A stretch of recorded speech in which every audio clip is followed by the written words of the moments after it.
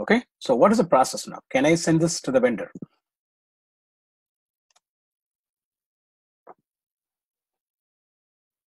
So let's say I'm sending this to the vendor. So Hemant is my manager. So what do, what is your reaction? Need approval, Review. review and approval. All right.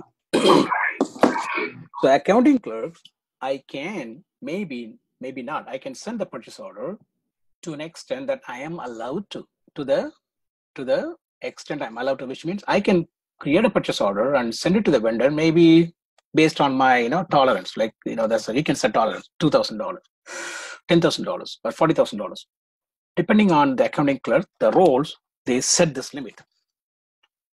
Okay. Now now let's say you know you guys are creating purchase orders right uh, you have created several purchase orders let's say um, you know yamini has created a purchase order and she cannot issue. She cannot release the purchase order. She cannot fax it or send it to the vendor. Okay.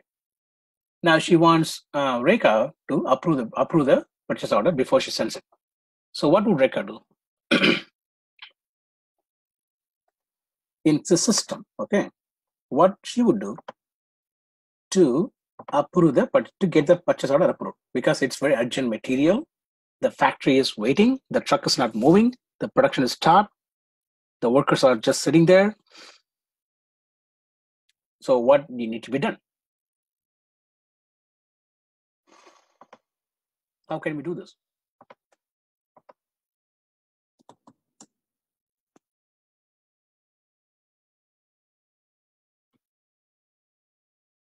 Hmm?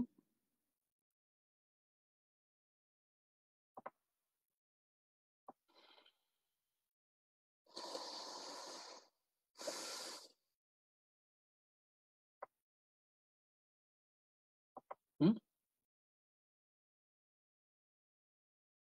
Right. So basically, what happens? What is workflow? Um, you can, um, let me see.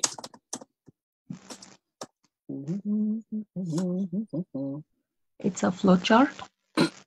Correct.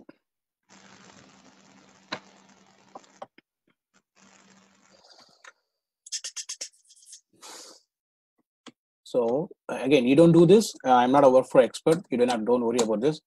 I'm just trying to show you um, the way how you learn, you know, become familiar in SAP is, um, you know, whatever you find transaction code, just Google search, you know, anything you find, just go and type this transaction code in SAP and wait for it. What does it do? Okay, just look at it.